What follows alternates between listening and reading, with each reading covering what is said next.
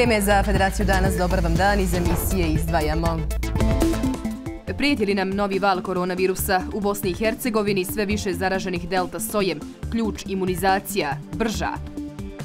Građani preko granice, mjerna jedinica za odlazak, školsko odjeljenje. Evo i jutro je došla jedna majka i vodi dijete svoje u Evropsku uniju. Migranti umjesto u prihvatnim centrima u centru grada, nadležni bez rješenja. Moj um kaže da idem na lipu, ali granica je blizu, zato ostajem ovdje. Medalje zlatne. Gost selektor najuspješnije BH reprezentacije Mirza Hrustemović.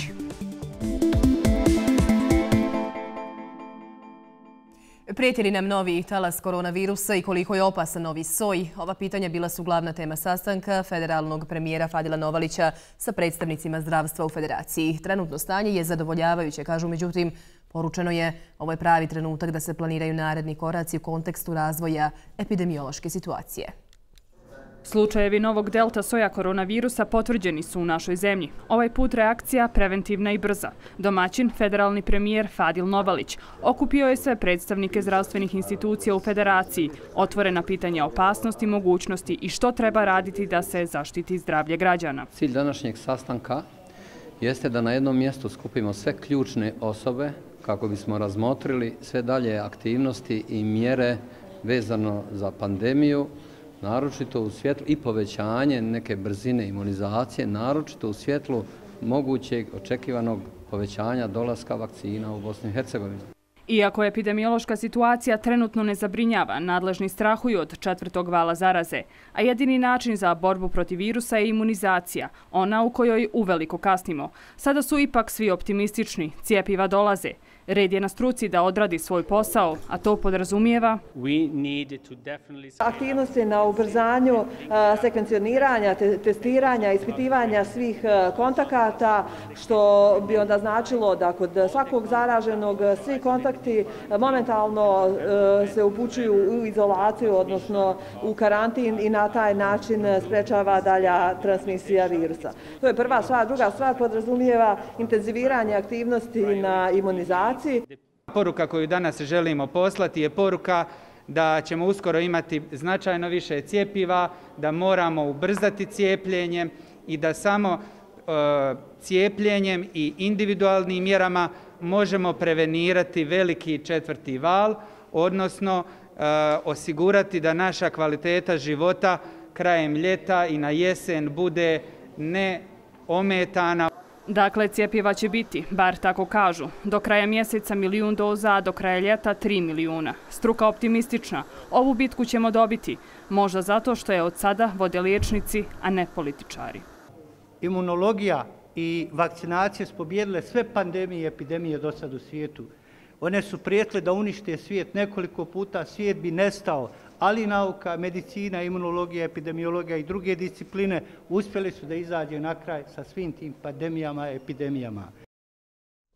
Korona bilans u Bosni i Hercegovini registrovane su 22 novo zaražene osobe, a prijavljene su dva smrtna slučaja. U federaciji je pozitivno 20 uzoraka, prijavljen je jedan smrtni ishod. U Republici Srpskoj virus je potvrđen kod jedne osobe kao i jedan smrtni slučaj. U Brčko distriktu registrovan je jedan novi slučaj zaraze. Slučajevi delta soja koronavirusa zabilježeni su u našoj zemlji. Radi se o potpuno novom soju virusa, a brzina širenja zabrinula je građane. Upravo njemu pripisuju mogućnost novog vala epidemije od septembra. Građani su zabrinuti i u vezi sa djelotvornošću vakcina, kojih je svakako malo, na novi soj. O svemu u nastavku razgovaramo sa genetičarom Rijadom Konjhođićem. Dobar dan i dobrodošli u Federaciju danas. Dobar dan, hvala vam na pozivu. Po čemu se razlikuje ovaj soj od prethodnih koji smo imali priliku da susretnemo u našoj zemlji? Pa da vam kažem, ja sam genetičar, pa on se zapravo i genetički jedino i razlikuje. Dakle, virus e, korone ili taj SARS-CoV-2 virus, kako ga mi poznajemo, jel, on ima neki 30.000 baznih parova koji Eh, kodiraju za nekih, pa nama je važno 30 proteina. Jedan od tih proteina je S-protein koji formira receptore sa pomoću kojih se virus kači na AC2 receptore u našem tijelu i tako inficira organizam. Eh, mutacije unutar tog S-proteina eh, čine te E, tu cijelinu između AC2 ljudskih receptora i receptora S koronavirusa čvršćom, što njemu omogućuje bržu i lakšu transmisiju unutar ćelije domaćina i e, mutacije e, prisutne na S na genu S koji kodira za te S proteinske receptore determiniraju taj novi, tu novu delta liniju. U prevodu ima li razloga za paniku u smislu bržeg širenja ovog soja koronavirusa? Pa razloga za paniku nema, ali razloga za oprez ima. Delta svoj se hoće brže širiti, isto kao što se alfa svoj popularno i kolokvijalno poznati britanski svoj brže e, širio u poređenju sa vuhanskom varijantom. Međutim, onda u panici se njemu pripisivalo i što jeste i što nije, da su kliničke slike teže, da je smrtnost veća, da je mortalitet veći i tako dalje. E, mi možemo reći da e, zbog tog jeli, tendencije da inficira veći broj ljudi, ćemo onda jeli, zakonom velikih brojeva dobiti veći broj težih kliničkih slika. Međutim, u prosjeku nekom, e, nakon što je jel, e, prošao taj e, u svijetu treći kod nas drugi val sa tom linijom 117 kolokvijalno poznatom britanskom linijom, nismo mogli utvrditi da je bilo značajno težih kliničkih slika. Dakle, klinička slika i projekcije su bile otprilike isto onako kao i kod originalnog soja. za sada što znamo o delta liniji, koja je potekla u Indiji, jeli, je da se on širi brže, ali još uvijek nemamo dokaza niti se čini da ćemo imati da eh, postoji promjena u, unutar kliničkih slika kod uh, pacijenata, odnosno tež, težine. Postoje razlike u, u, simptomima. u simptomima. Da. Ali simptomi ok, ali težina kliničke slike, mortalitet i tako dalje, još uvijek nemamo dokaza. Postoje još neke informacije koje generalizuju taj virusa koje bi bilo dobro da običan čovjek zna, recimo, da li je zabilježeno E, da zahvata određenu populaciju ili nešto slično tome? Pa, pazite... Koji skloni tome muškarci ili žene, stariji, mlađi i slično? E, virus koronavirus je jednako inficirao sviju. A sada e, stariji ljudi, ljudi sa hroničnim oboljenjima, pogotovo ljudi sa diabetesom i e, ljudi sa problemima sa koagulacijom krvi, su bili najveće žrtve ove pandemije i oni najveća smrtnost je bila među tom populacijom.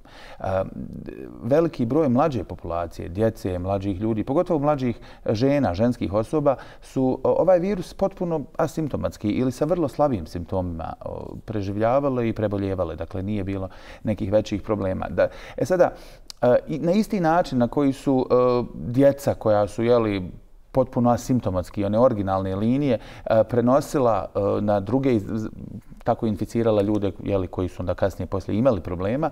Na taj način se bojimo da to može napraviti i delta. E, samo što je ona jeli, malo jeli, agresivnija, odnosno virulentnija, ne možemo reći agresivnija, nego virulentnija. Pa taj način broj ljudi koji će jedna zaražena osoba inficirati e, će biti veći. Jeli. Kako i zašto uopšte dolazi do formiranja tih novih sojeva virusa? Stalno pominjemo e, šta je sa prethodnim sojevima? Jesmo li ih pobijedili? E, sad pominjemo novi delta soj. E, zašto uopšte dolazi do formiranja novih sojeva? Je, to je dobro pitanje. E, ja volim reći da je... Je to Sizifov posao? Mi taman spriječimo širenje jednog soja, pojavi se novi, jači i slično. Ono što ljudi moraju shvatiti da je genetski shift, da je dakle, taj linearni shift u genetici virusa, odnosno pandemijskih agenata, normalna stvar i da se on uvijek dešava. Ja uvijek volim reći da su virus, virusi primjer evolucije na steroidima. Ono što kompleksnim organizmima treba hiljada godina, virusima je dovoljno nekoliko mjeseci ili godinu dana. Dakle, virus, kao i svaka druga vrsta na svijetu, traži sebi uh, evolutivno favorabilnu mutaciju. Šta to znači? Traži neku mutaciju koja će njemu olakšati da brže i bolje živi. E sad, šta znači za virus brži i bolji život? Znači njegova mogućnost da se što lakše i što brže prenosi, jer on ne može živjeti bez ćelije domaćina. Upravo zato e, prethodni e, sojevi virusa ne nismo ih pobjedili mi, nego ih pobjede novi sojevi, kao što je alfa soj ili kolekvijalno novi e, nazvan britanski soj.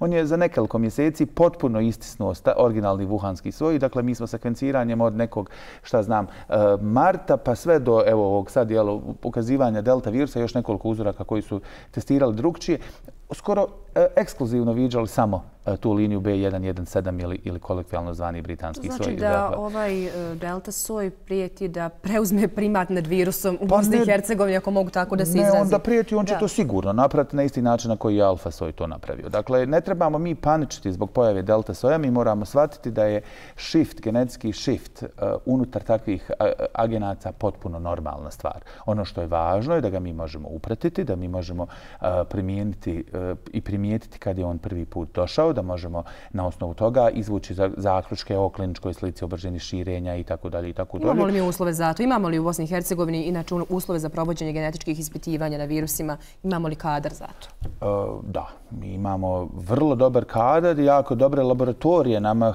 fali kao i u svemu drugom, ja tu usudijem se reći, naravno ne treba voditi, e, nama fali koordinacije. Jel? Mi nismo bili u, e, za, ovaj, e, za vrijeme ove jel, pandemije, je to nekako bilo ostavljeno na entuzijazmu pojedinaca od samog početka mi u Oleogenetičkom centru i e, laboratorija veterinarskog fakulteta se odmah sve spoznala i, i znala važnost kontinuiranog sekvenciranja i mi smo to radili u svom trošku, znate.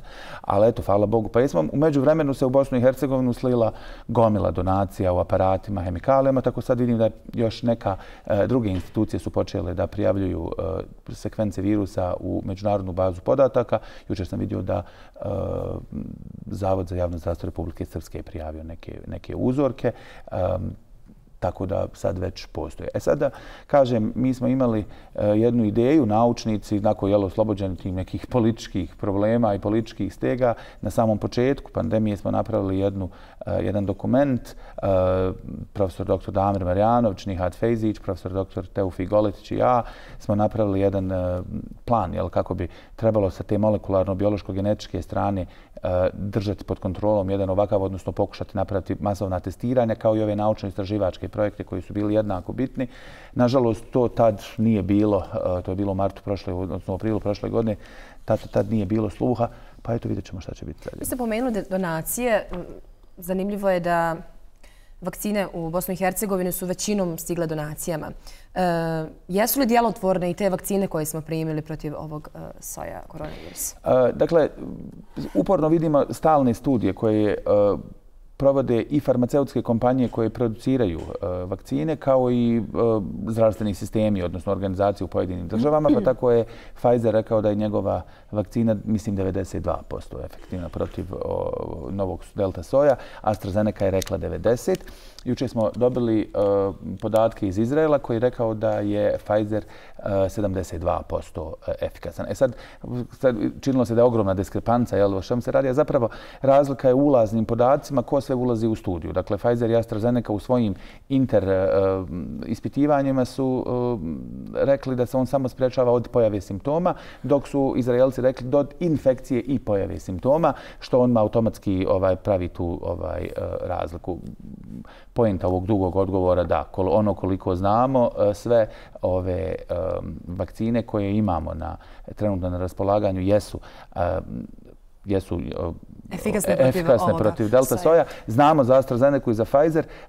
Ljudi koji se produciraju Sinopharm su također rekli da jeste, nisu nam dali te neke jel, podatke još. Isto se radi za Sputnik V, pa je to vidjet ćemo, ali koliko da odgovor je do sad da. Hvala vam što ste odvojili vrijeme za gledalce Federalne televizije. Hvala vam. Tokom službene posjete Brčko distriktu, Matthew Palmer, zamjenik pomoćnika državnog sekretara SAD-a, sastao se sa zvaničnicima distrikta i obišao jedinu međunarodnu riječnu luku u Bosni i Hercegovini. Istakao je važnost realizacije najavljenih infrastrukturnih projekata na području ove lokalne zajednice, a to su revitalizacija Luke Brčko, rekonstrukcija starog i izgradnja novog Savskog mosta te autoputa. Pohvalio je i usvajanje zakona o sprečavanju sukoba interesa i mirnom okupljanju. Ono što predstoji kao borba ne samo za Brčko distrikt, nego i za ostatak Bosne i Hercegovine, a to je posvećenost njenih lidera borbi protiv korupcije. Ovo je jedini grad koji nije glavni grad neke države u regionu u koji je gospodin Palmer došao i mi to prepoznajemo kao svojevrsnu podršku. A Venecijanska komisija Savjeta Evrope analizirala je novu verziju zakona o sprečavanju sukoba interesa koju je pripremilo Ministarstvo pravde sa Josipom Grubešom na čelu. Zanimljivo nacrt uvodi gotovo identična pravila o sukobu interesa poklonima i nespojivostima imenovanih zvaničnika i poslanika. Poručuju da se nadležnosti za utvrđivanje sukoba interesa moraju prenijeti na državni nivo. A ako to politika onemogućava, entiteti i distrikt Brčko trebalo bi da barem usklade svoje zakone i povjere provođenje tijelu na državnom nivou. Zakonodavca podstiču da uvedu i strože mjere. Dakle, ministarstvo je uglavnom prepisalo stari zakon i predložilo kao nacrt novog.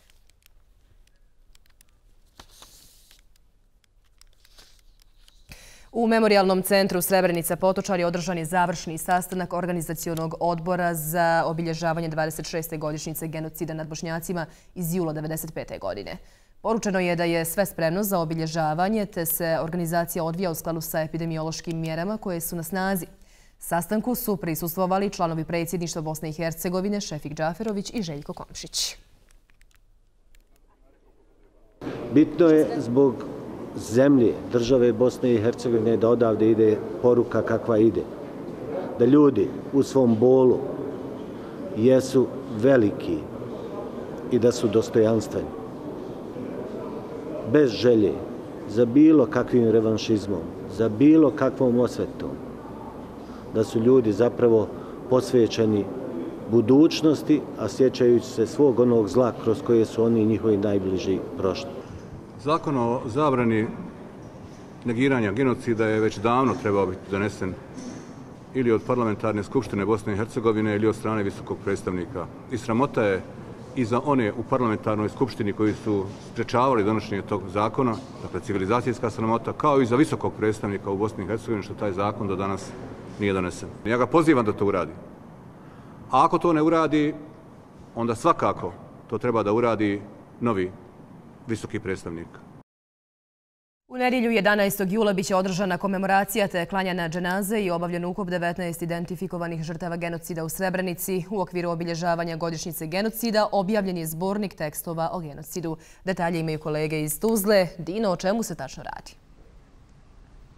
Univerzitet u Sarajevu, Institut za istraživanje zločina protiv čovječnosti i međunarodnog prava Univerziteta u Sarajevu, Institut za historiju Univerziteta u Sarajevu i Univerzitet u Tuzli objavili su zbornik radova s međunarodne naučne konferencije pod nazivom Genocid nad Bošnjacima Srebrenice 1995-2020. Uzroci, razmjere i posljedice. Promocija je održana i u Tuzli. Zbornik šalje nekoliko važnih poruka. Živimo u vremenu kada se genocid negira, zbog čega je ključno, posebno za generacije koje dolaze, da se i kroz naučna istraživanja govori o ovoj temi. Danas imamo u zborniku 39 radova i da ponudimo javnosti, da ponudimo prije svega akademskoj zajednici, profesorima, studentima, a naravno prije svega e, mladim generacijama koje o ovoj temi, o kojoj je riječ, znaju vrlo malo ili ne znaju ništa. Upravo zbog toga je neophodna podrška i konstantna uključenost obrazovnih institucija. Iz Univerziteta u Tuzli i Sarajevu kažu da žele biti oslonac stanovništvo Srebrenice i Bosne i Hercegovine u širenju istine. Smatramo samo da taj način mi možemo postaviti i pomoći da Srebrenica postane jedno novo društvo i da se to područje revitalizira. Istina o Srebrenici predstavljena kroz naučno-istraživačke radove je, osim za mlađe generacije, veoma bitna i za one koji su preživjeli genocid. Svaki način na koji njegujemo kulturu sjećanja moramo cijeniti.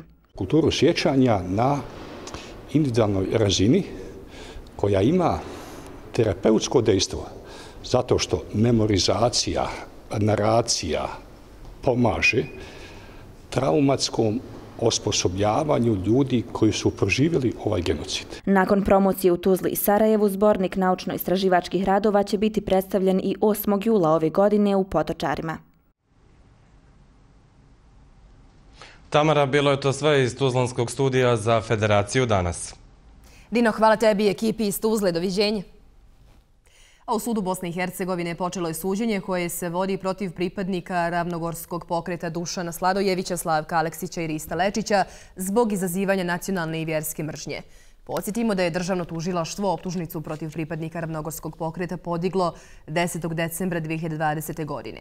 Optuženog Lečića se tereti da je prilikom okupljanja na trgu pjevao pjesme kojima se veliča četnički pokret i izražava prijetnja ili nasilje izazivajući uznemirenost i strah stanovništva. Na kliničkom centru Univerziteta u Sarajevu i danas pripadnici SIPE izuzimaju dokumentaciju koja se dovodi u vezu sa ranije formiranim predmetom kantonalnog tužilaštva iz kliničkog centra na naš upit da li je tačno da se izuzimaju kartoni pacijenata koji su boravili u COVID odjelu, nisu ništa odgovorili. Aktivnosti se nastavljaju jutro su u cilju realizacije preostale tri naredbe Opštinskog suda u Sarajevu. E, te naredbe e, odnose se na privremeno oduzimanje predmeta koji će se iskoristiti kao dokaz u daljem krivičnom postupku. u cilju dokumentovanja krivičnih dijela, teška krivična dijela protiv zdravlja ljudi, nesavjesno liječenje i zloupotreba službenog položaja i oblaštenja. A više od dva sata trajao je pretres u Vrhovnom sudu Federacije Bosne i Hercegovine u predmetu Dženan Memić, a protiv Ljube i Bekrije Seferovića. Njima je Vrhovni sud ukinuo presudu kantonalnog suda Sarajevo kojom su oslobođeni krivice za izazivanje saobraćajne nesreće, neukazivanje pomoći i sprečavanje dokazivanja. Na narednom ročištu biće saslušane dva vještaka medicinske struke Hamza Žujo i Željko Karan, a stranama je sugerisano da se pripreme i za završne riječi. Nakon današnjeg očišta, otac stradalog dženana nije krio razočarenje postupanjem Vrhovnog suda. Vlado Mišković sve što je izrekao u sudnici je laž. On je meni nudio opklad u kantonalnom tužlaštvu. Kaže, hoćemo se klad da su Romi. Evo ja mu kažem da se sad kladimo da nisu Romi. I tada sam mu rekao da se kladimo da nisu Romi. Oni nemaju veze, ovo nije saobraćajna nesreća, Dženan je ubijen, Niko u državi ne vjeruje da je Dženan strada u saobraćajnu nesreći. Ovakav slučaj se nikad nije desio za ovih 140 godina. Ja sam više puta rekao da je odluka Vrhovnog suda vrhovna sramota. Ovakve odluke se mogu, ne smiju donositi bez obzira što se neko formalno drži zakona. Dakle, zakon treba razumjeti, a ne čitati. Ako ukidate odluku da biste donijeli istu, onda ste samo ukrali vrijeme. Problemi u brojnim oblasima pa i u zdravstvu uz komplikovan sistem i političku situaciju uzrok su sve češćeg odlaska mladih iz naše zemlje. Pa i cijelih porodica, koliko je ozbiljan problem, govori podatak da se u Srednjobosanskom kantonu broj odlazaka mjeri školskim odjeljenjem. Sanela, podaci su zaista zabrinjavajući. Upravo tako, Tamara, Srednjobosanski kanton samo u protekloj školskoj godini nepovratno je izgubio 639 osnovaca koji će svoje obrazovanje nastaviti u nekoj od zemalja Evropske unije ili jednostavno kazano jednu školu sa 14 odjeljenja. Sve je više škola koje ne zadovoljavaju pedagoške standarde, što bi u konačnici fenomen dvije škole pod jednim krovom mogao smjestiti pod onaj jedan zajednički, ali ne na uštrb prava djece, o kojima i onako više brine politika, jer kada odu poput ovih 639, svi onda govore jednim njemačkim jezikom. Ovo je osnovna škola u naselju Turbe na domak Travnika, druga po broju učenika na području kantona. Ninju nije zaobišao talas odlaska u jednom pravcu. I svake godine kažu broj onih koji odlaze mjeri se jednim školskim odjeljenjem. Školsku 2020-2021 godinu počeli smo sa 829 učenika, a završili smo tu školsku, evo, nastavnu godinu sa 812 učenika. Možemo reći da je jedno odjeljenje učenika naše škole u toku školske godine otišlo. Evo i jutro je došla jedna majka i vodi dijete svoje u Europsku uniju. Kako ovdje, tako i ostalim školama drastičan je pad broja osnovaca. Posebno se to vidi u područnim školama u kojima je smanjenje broja učenika u odjeljenjima redovna pojava. Gotovo je nemoguće ispoštovati pedagoške standarde. Mislim da bi naše ministarstvo trebalo podhitno uraditi pedagoške standarde primjerene ovoj trenutnoj situaciji broja učenika. Jer mi faktički radimo mimo zakona. A ja razumijem i ministarstvo. Ministarstvo se prilagođava situaciji. A dok se nastoji prilagoditi situaciji, žmiri se na postojanje velikog broja škola koje ne zadovoljavaju uvjete da posluju kao pravni subjekt, a u ukidanju prakse dvije škole pod jednim krovom niko ne govori. Ovaj fenomen nastao je kao privremena, postao trajna kategorija u ovom kantonu. Možda stalno iseljavanje učini ono što međunarodni, ali domaći političari godinama izbjegavaju, da ta praksa konačno prestane? Hoće. Mm, ono što će nas natjerati na, na neki oblik promjene će sigurno biti ovaj demografski pritisak. Mi rapidno gubimo broj učenika. Jednostavno, sve manje djece i sve, sve nam obrazovanje dođe skuplje i točno nam dođe skuplje. Ali isto tako neće to ići na uštrb, na uštrb prava da se obrazujemo na svom jeziku. Cijela priča postala isplativ biznis. Potvrđuje to slučaj područne osnovne škole na Bešpelju kod Jajca. Naime, ovdje su dva razreda i dvije škole pod jednim krovom svoje devetogodišnje obrazovanje na dva jezika završila tek dva učenika. Vjerovatno će njih dvojica za koju godinu daleko od ovih prostora ipak progovoriti jednim njemačkim jezikom, a u pravu na maternji i dalje će slušati tokom dolaska na godišnje odmore. Iz Travnika toliko. Lijep pozdrav. Sadala, hvala ti za ovu priču iz Srednjobosanskog kantona. Doviđenje. Migrantska kriza u Bosni i Hercegovini ne jenjava, iako smještajni kapaciteti u prihvatnom kampu Lipa kod Bihaća nisu popunjeni. U centru grada je na stotine migranata. Redovne su akcije policije na njihovom premještanju, ali je problem stalnog vraćanja migranata i tako u krug. Sve to zabrinjava domaće stanovništvo. Iako nadležni tvrde da je u Unsko-Sanskom kantonu migranata manje, slike iz urbanog dijela grada to negiraju. Potvrđujem vaš navod da je sve više i sve više problema, nažalost, sa migranskom populacijom. Lažu. Nije tačno, sve više i više. Čak dolaze od ozgo autobusima sa šoferima, autobuse i uključu i pustaju. Statistički, migranata je manje u kampovima. Razlog nije manji priliv, nego odlazak migranata u pogranični pojas. Nije mi dobro, ali živimo ovdje, nemamo hranu, vodu niti mjesto za spavanje, nemamo ništa, ali želim ići u game i zato sam ovdje. Moj um kaže da idem na lipu, ali granica je blizu, zato ostajem ovdje. Većina njih utočište je našla u napuštenim objektima u koje se nakon policijske akcije uvijek vraćaju. Mi zajedničko ovaj, eh, odruženje migranata iz eh, urbanih sredina radimo saradnji sa službom za poslove s strancima i te aktivnosti će biti nastavljene i narednih dana. Uglavnom eh, vraćamo te migrante u prijetni centar Lipa, nažalost neki se opet vraćaju. U potpisanom memorandumu službe za poslove sa strancima MUPA USK i IOM-a policija Unsko-Sanskog kantona zadužena je za sigurnost migranata u prihvatnom centru Lipa.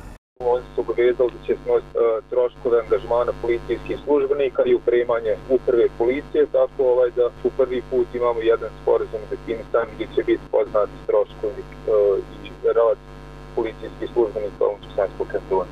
Intenzivno se radi na izgradnje prihvatnog centra Lipa u kojem će biti smješteno oko hiljadu i po migranata. Radovi bi trebali biti završeni do jeseni, a u njemu će biti smješteni svi migranti iz Biglice koji borave u Bihaću. Do tada, ljeto će biti u znaku nezbrinutih migranata na ulicama koji svakodnevno pokušavaju preći granicu.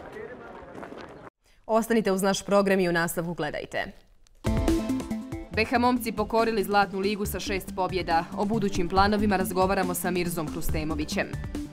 Udruženju Sunce iz Mostara prijeti zatvaranje, štićenici prepušteni sami sebi. Problem novac. Udruženje mjest, udruženje Sunce. Mi znači sve ono kako bi dolazio ovdje u udruženje Sunce, tu sam onaj koristan jer onaj bez udruženja Sunca, ja onaj, ja onaj ne bi imao nigdje drugo. Zenica, uskoro teatar na otvorenom, umjetnički performansi na pet različitih lokacija.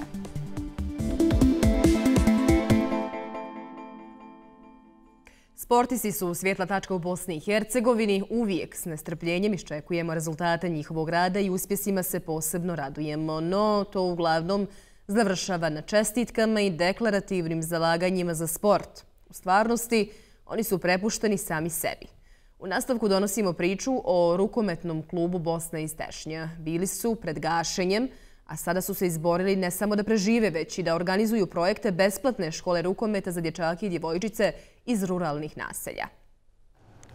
Tešanjski rukometni klub nakon kriznog perioda u kojem se našao pred gašenjem pronalazi novu snagu i nove puteve da izraste u stabilan i uspješan sportski kolektiv.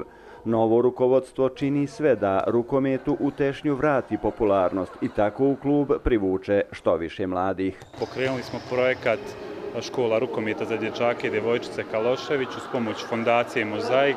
obezbijeli smo tromjesečnu besplatnu školu rukometa. Polaznicima koji usvaljaju prva znanja iz rukometa pomažu nešto starije kolege. Među njima je i Lea Jelić koja rukomet trenira tri godine. Jako mi je drago kad vidim da velik broj novih e, i djevojčica i dječaka dolazi i koji interesira rukomet i drago mi je zapravo što ja se ne smatram dovoljno iskusno da pokažem nekom neke stvari, ali definitivno da učimo od najboljih trenera. Ali neko ko tek ulazi u svijet rukometa? Osnovne stvari mogu pokazati. Na tri besplatna sedmična treninga iz Kaloševića dolazi od 20 do 30 mladih. Htjela bih da budem rukometašica i da uspijem u tome. Puno su nas naučili i drago mi je što vidim da imam puno vršnjakinja i ovdje sam istekla mnogo prijatelja.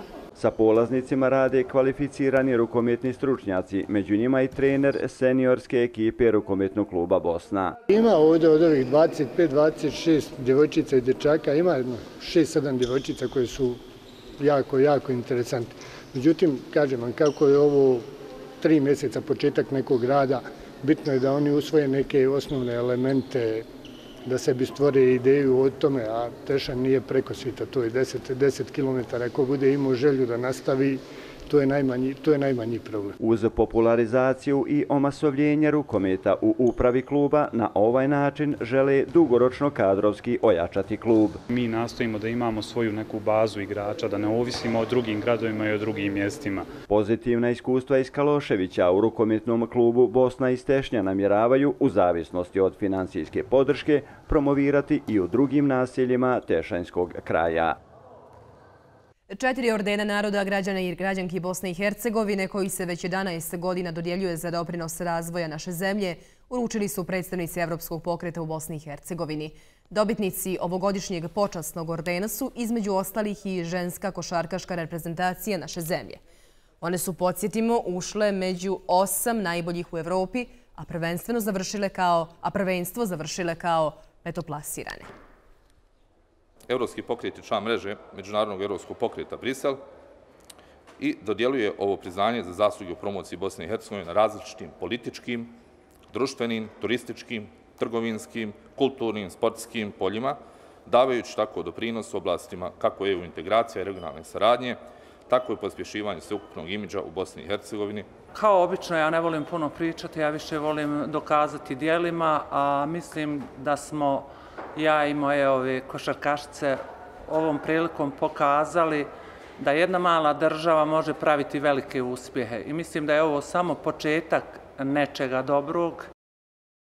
A zlatom su se okitili momci iz reprezentacije Bosne i Hercegovine u sljedećoj odbojci. I nije im prvi put, oni su u nedjelju osvojili Zlatnu ligu nacija. Superiorno u šest mečeva izborili su šest pobjeda, a posljednja u nizu prepreka bila je Hrvatska. Sa nama je Mirza Hrustemović, selektor BH reprezentacije, inače najuspješnije selekcije naše države. Dobar vam dan i dobrodošli u Federaciju danas. Dobar dan, bolje vas našli. Gospodine Hrustemoviću, za vas i momke se veže, ono, osvojili ste sve što se osvojiti može. Je li zapravo tako i jesu li svi ciljevi ostvareni?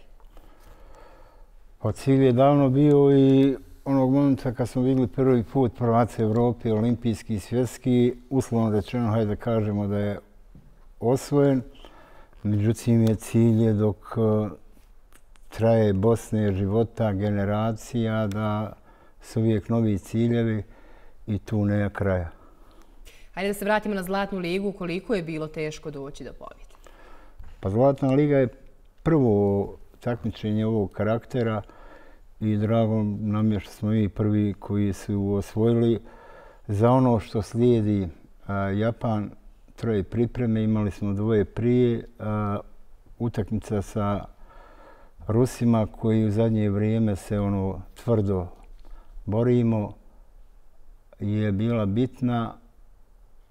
Pa i da smo izgubili, ne bilo nikakav poraz, međutim na ovaj način gubili smo 2-0, bolje da smo pobjedili, tako da nosimo u Japan mm, bolji odnos onoga što mi zovemo sjedećoj odbojci sve nego oni i sigurno da u grupi ne bi me iznenadilo u Japanu da budemo možda čak i sa Rusima i sa Brazilom i sa Iranom jer mi rijetko putijemo, a na svakim turnirima dobijaju se ranking bodovi i onda to određuje, bez obzira što smo mi bili na svjetskom prvenstvu finalisti.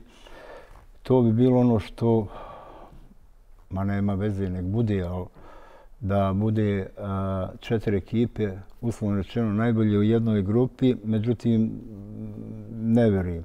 Tako da, bez obzira da li Rusija ili Brazil, u našoj naš cilj je da dođemo do finala, a onda finale kao finale. Dakle, govorimo, kad kažete vaš cilj je da dođete do finala, o paraolimpijskim igrama u Tokiju. Je li tako? Ovo je bilo otprilike uigravanje pre te igre, možemo li pa, tako reći? Koliko naporno se pripremate? Pa imali smo dvoje pripreme, imamo još troje. To je Petro priprema.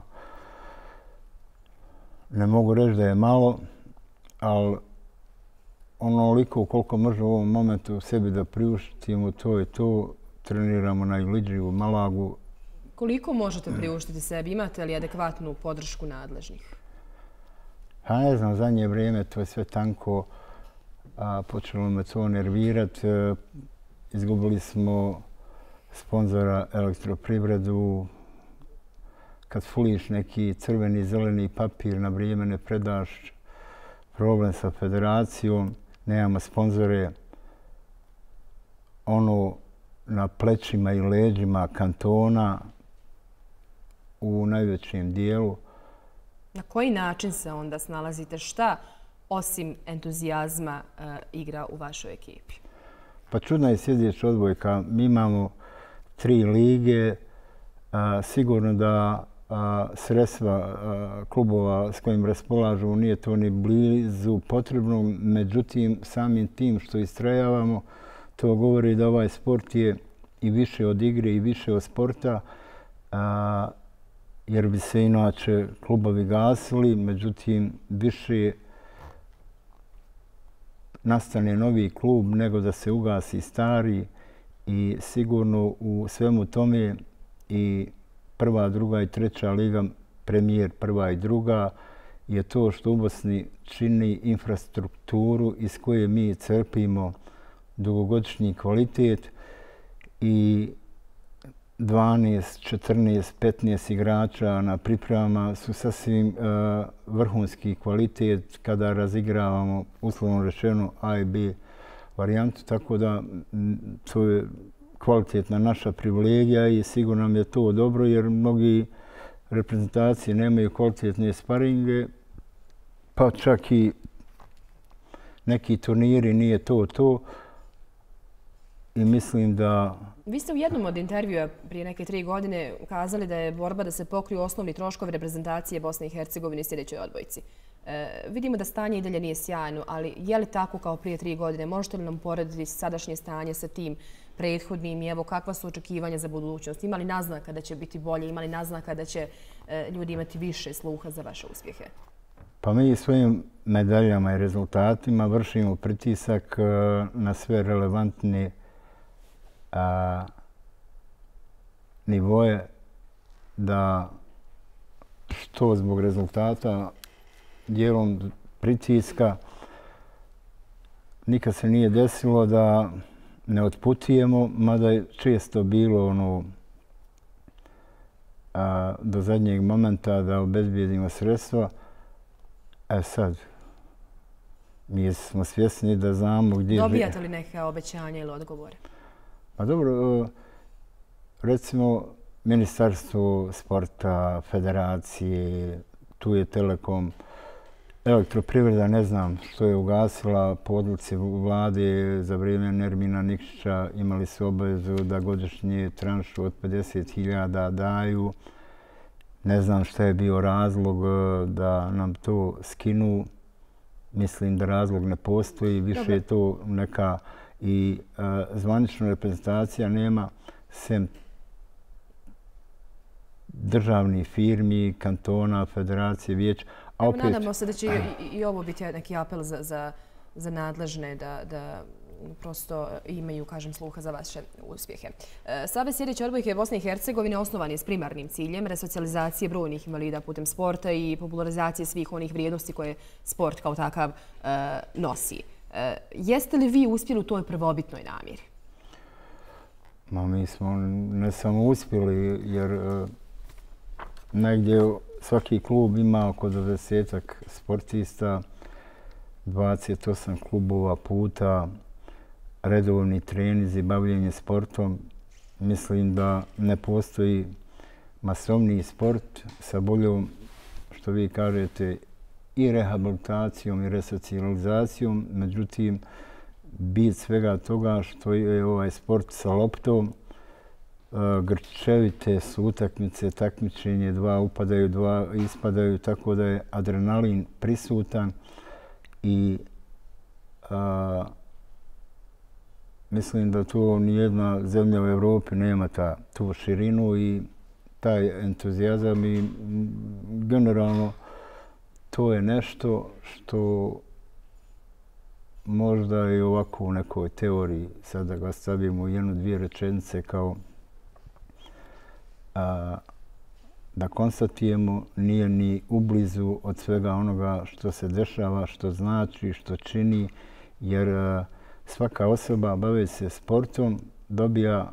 sjajan kvalitet a, u životu, u kontekstu da se bavi nečim što voli i odigravanje na parketu a, utakmice u sljedećoj odbojci toliko svakog sportistu dovede na nivo da je to bukvalno na parketu ravnopravan i e, svu onu draž koju sport u sebi nosi, pogotovo u momentu pobjeda pa i poraza, pa prelazka u niži rang obraćanja. Mi vam želimo još mnogo pobjeda i svu sreću na paraolimpijskim igrama u Tokiju. Hvala vam što ste odvojili vrijeme za federaciju danas, a mi ćemo i nastavku um, govoriti o položaju osoba sa invaliditetom u našoj zemlji. Ne znam da li imamo dvoje sekundi da pomjenemo ko sve ide na paraolimpijske igre. Prvi put imamo... Ako se radi o imenima i prezimenima, možete krati. Ma nije, nije to bitno, nego imamo jednog stvarno tenisera iz Banja Luki, to je novi sportista koji je ubio normu. Imamo dva strijelca, imamo slijepog, imamo tlečara, tako da smo po prvi put malo brojnija delegacija. I mi smo svi srećni zbog toga i zbog toga vas bodrimo. Hvala vam još jednom na gostovanju. Hvala. Za osobe sa invaliditetom često nema sluha u našoj zemlji. Čuli smo, pokazao je to i slučaj udruženja Sunce iz Mostara, kojim prijeti zatvaranje razloge, naravno novac, jer zavise od donacija i projekata, a toga je sve manje. No, u Suncu ističu da će se boriti za svoje korisnike da bi bar imali dnevni centar jer je on za mnoge od njih jedini prozor u svijet i prilika za socijalizaciju i društveno koristan rad. Udruženje Sunca nećete vidjeti niti u jednom proračunu, ni onom gradskom, ani na višim razinama. U 23 godine postojanja bore se za novac aplicirajući na projekte, a opstaju zahvaljujući i donacijama. Snalaze se kako znaju i umiju da bi bar opstao njihov dnevni boravak. To su osobe sa intelektualnim i kombinovanim teškoćama, koja, čija, čija jedina mogućnost socijalizacije u udruženju Sunce. Dakle, imamo kombi koji odlazi po korisnike, doveze ih. Znači, jedini način da budu integrisani u društvo je upravo taj. I zato mi ne smijemo dozvoliti da se to ne, ne dešava. Ne smijemo dozvoliti da se zaustavi dnevni boravak.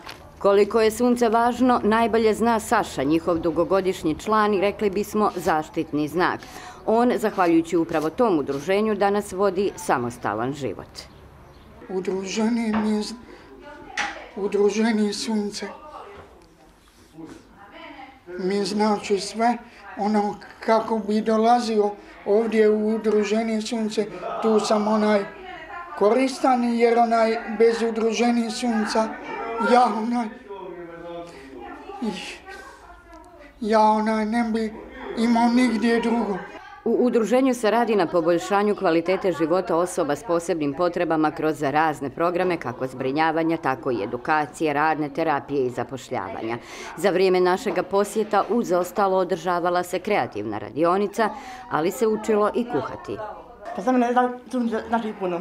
Mi se ovdje družimo, imamo radionice, da se kuhamo u domu, ručku, idemo na, na, na, na izglede. Samo dvije i pol tisuće maraka mjesečno, koliko iznose najosnovniji troškovi, značilo bi opstanak Mostarskog sunca. Mala cifra za tako veliku korist koju od sunca imaju njegovi korisnici.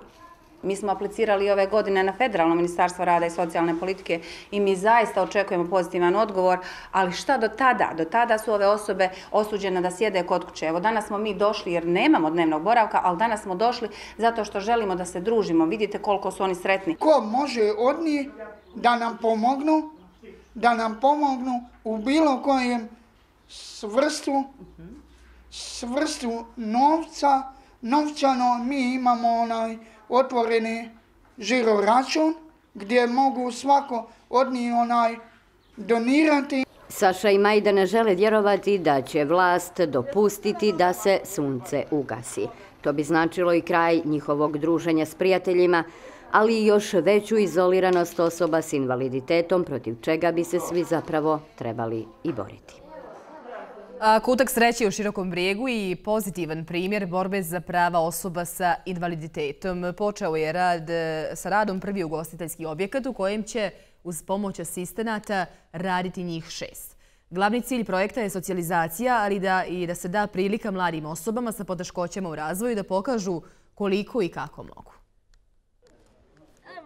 Dobrodošlicu u Širokobriješki kutak sreće poželjeli su Tomislav Martina i još četvero kolega koji su ovih dana imali pune ruke posla. S velikom ljubavlju ugostiti sve one koji posjete novo mjesto u gradu u kojem su priliku za zapošljavanje pronašle osobe s invaliditetom. Pa, pa super imamo tu kapit, sve imamo dobro. Radimo, niko ono i tako. Što ćeš raditi? Raditi, ne to, ne znam. Rada neće nedostajati. Uz ugostiteljski objekt tu su i ranije otvorene edukativne i kreativne radionice. Svim osobama s invaliditetom, kao i svim osobama, općenito treba druženje i kao i zapošljavanje da ostvare sebe u životu i da budu malo samostalniji, a ovdje će imati priliku se družiti. Na druženje su došli i predstavnice županijske i gradske vlasti. Podrška ovom projektu poručuju neće izostati. Krenula je ustupanje prostora nekadašnjeg Centra za socijalni rad, a otvoreni su i za buduće suradnje.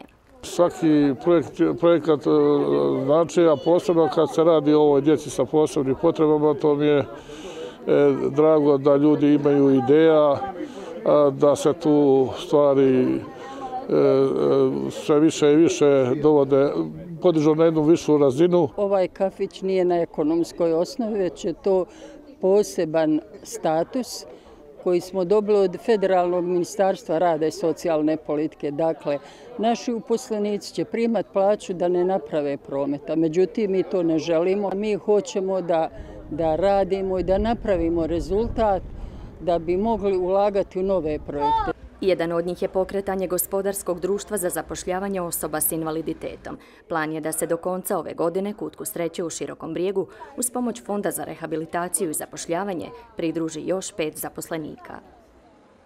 U Zenici privatni sektor zajedno sa nevladinom organizacijom preuzeo je ono što bi trebalo da radi država. Osigurali su i podijelili 120 senzora za besplatno mjerenje glukoze u krvi. Time su olakšali život za djecu i mlade u Zeničko-Dobojskom kantonu za naredna tri mjeseca. Značaj donacije bezkontaktnih mjerača šećera za mlade i djecu oboljele od diabetesa tip 1 najveći je za korisnike. To je umjesto 10 uboda svaki dan 6 uboda u 3 mjeseca i to je strašna olakšica, pogotovo za mene koja se bavim sportom i mislim košarka, to je sport s loptom i teško je imati ubode po rukama i baviti se bilo čim.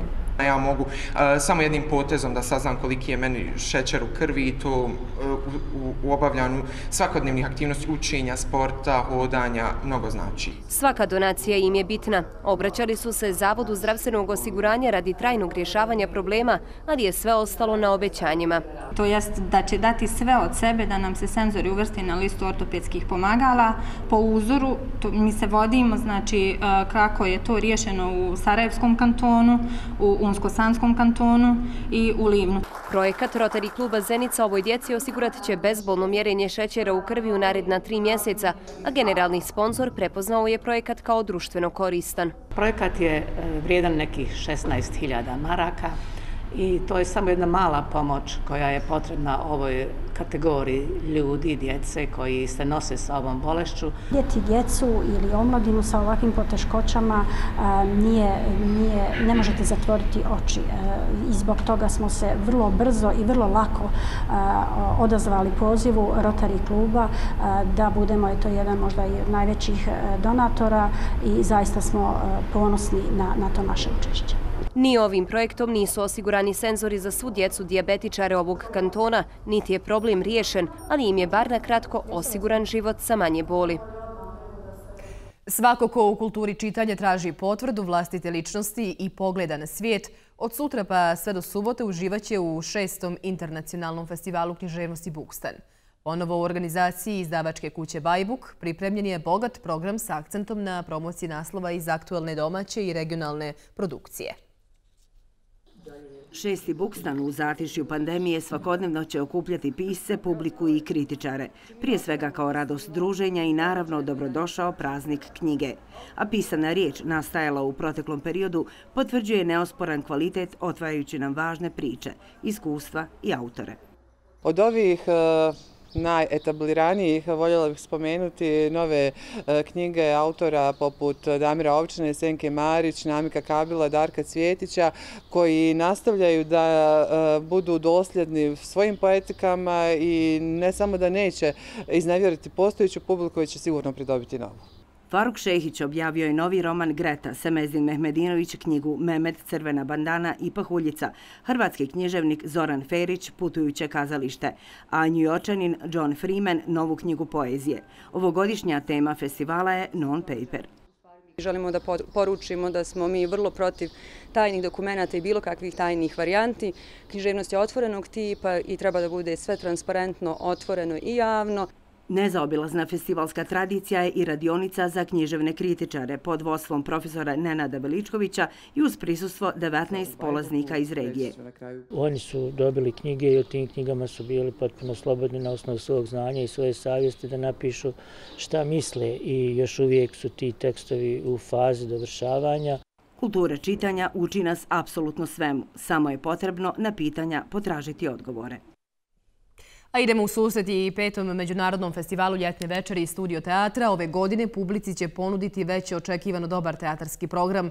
S obzirom na to da je riječ o malom jubileju, festival će biti otvoren koncertom zaničkog benda Balkanjeros Banditos, koji ove godine obilježava 10 godina postojanja. Ovo je zvanično i prvi koncert od pojave pandemije u ovome kantonu. Pod sloganom Festival za pet, organizatori su se potrudili da publici ponude zanimljiv muzički i teatarski sadržaj. Zenica će u cijelosti 13. jula biti teatar na otvorenom, jer će se umjetnički performansi održavati na pet različitih lokacija u gradu. Zajedno sa partnerskim organizacijama iz Sjeverne Makedonije, Slovenije, Srbije, Grčke i Italije, dio su velikog međunarodnog projekta Putevi heroja, podržanog od Kreativne Evrope. Zahvaljujući tome, mi ove godine imamo Below the Enemy, e, Voljeni neprijatelj, e, performanse koje ćemo realizovati na ulicama našeg grada, znači jedan osmodnevni workshop koji ćemo imati sa 21 glumicom glumcem iz 13 država, 13 država svijeta, ne Evrope. Festival će biti otvoren koncertom poznatog BH benda Balkaneros Banditos koji ove godine obilježava 10 godina postojanja. Dva autorska studijska albuma. Album sa 19 tradicionalnih pjesama naroda širom svijeta, ali njihove obrade postale su poznate na svjetskim muzičkim platformama. Mi smo željni svirke, mi smo željni tog e, direktnog kontakta s publikom. E, mi jesmo radili, zadržali, uspjeli smo srećom zadržati kontinuitet e, čisto iz naše želje da se održi, održi taj bend, jer niko nije mogao ni pretpostaviti ni koliko će ovo trajati. Na književno-satirični način, jedan od najpoznatijih glumaca regije, Zijah Sokolović, komentarisat će političke događaje u kabarej predstavi među igre od 0 do 24. Krevet za šestoro zanimljiva je hit komedija pozorišta Slavije Beograd. Čak smo uspjeli prošle godine kada nam epidemiološka situacija to uh, je, kad nam je to jedva dozvolila, mi smo, mi smo uspjeli da realizujemo sam festival i moram priznati da eto, sada to ide nekim svojim tokom, raste, mi i dalje trudimo se, radimo, radimo više nego ikad da bi publika uživala u najboljim predstavama iz regiona i Bosne i Hercegovine. Četvrta noć festivala rezervisana je za mlade izvedbom predstave Mladi u doba korone, koju je studio teatar radio u koprodukciji sa Bosanskim narodnim pozorištem Zenica. I petu noć tradicionalno festival se zatvara državnim lopovom, predstavom koja već 16 godina nasmijava publiku i jedna je od najigranijih aktualnih predstava u Bosni i Hercegovini. U Federaciji danas za danas toliko. Hvala vam na povjerenju i doviđenja.